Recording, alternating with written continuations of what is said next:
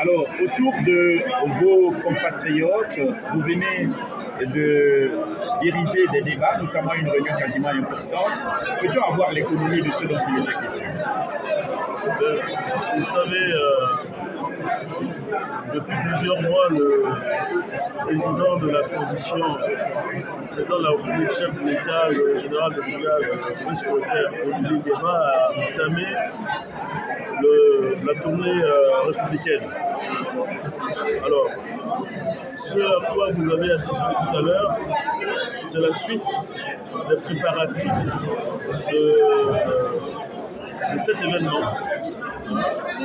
par euh, les ressortissants des départements de l'Éconie, l'Éconie et de la Djoué, qui sont deux des départements qui composent la province du Haut-Ogooué. Parce que très prochainement, et notamment le 17 juillet, le président de la République sillonnera la province du Haut-Ogooué pour euh, se préparer à cet effet, pour euh, entamer une mobilisation qui se veut forte et dynamique, ces populations ont poursuivi ce qu'ils avaient déjà entamé. Donc, les actions de préparation, d'organisation qui vont se poursuivre localement après euh, cette euh, séquence de libre Restauration des institutions, la restauration de soi, vous y en avez parlé, et le chef de l'État y attache véritablement du prix à la cohésion. Pensez-vous que tout cela pourrait être au rendez-vous? Ah Oui, certainement. Certainement, nous savons ce que le contraire produit comme, euh, comme effet néfaste. Euh, sans cohésion, sans, euh, sans respect des valeurs euh, nobles qui nous caractérisent, en général, les, objectifs sont difficiles à atteindre. Sinon, on ne peut pas les atteindre du tout.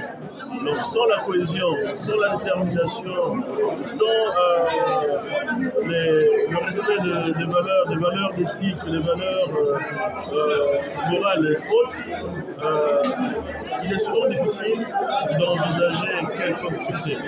Et c'est donc la juste titre que le chef de l'État le rappelle et insiste pour que les populations gabonaises fassent preuve de, de ce sursaut-là qui nous amènerait vers cette restauration des institutions dans la première et l'être humain lui-même. Monsieur le secrétaire général, est-ce que la répartition de l'argent pose-t-il problème du moment que les projets n'ont pas encore été énoncés? Non, euh, on ne peut pas affirmer que les projets n'ont pas été énoncés. Ils sont en préparation parce que euh, c'est quand même l'actualité, le fond euh, décerné par euh, le chef de l'État à chacun de ces passages. Donc, bien des populations se préparent en conséquence depuis, réfléchissent et nous le savons, euh, les situations ne datent pas d'aujourd'hui. Nous avons connu quelques essais d'accompagnement en termes de, de, développement local. Là, c'est un fonds concret et conséquent qui devrait en réalité permettre aux populations qui ont commencé à réfléchir sur des projets modestes de regarder un peu plus euh, des projets structurés ou structurés. Donc un message à l'endroit des populations locales qui attendent avec impatience l'avènement du libérateur.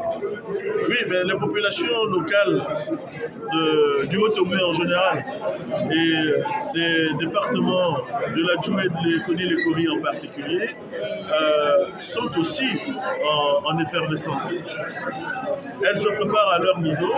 Il est d'ailleurs question pour euh, les populations résidant à Libreville ou dans les autres zones euh, euh, centres urbains, mm -hmm. de retrouver ces populations locales-là pour euh, mettre en cohésion, on a parlé de cohésion tout à l'heure, les différentes réflexions menées de part et d'autre, et ainsi harmoniser pour pouvoir émettre des idées euh, qui euh, trouveront l'assentiment de tout le monde de façon collégiale. Donc ces populations sont attentives, elles attendent que euh, la diaspora descende pour euh, concilier les différents points qu'ils auront évoqués départ.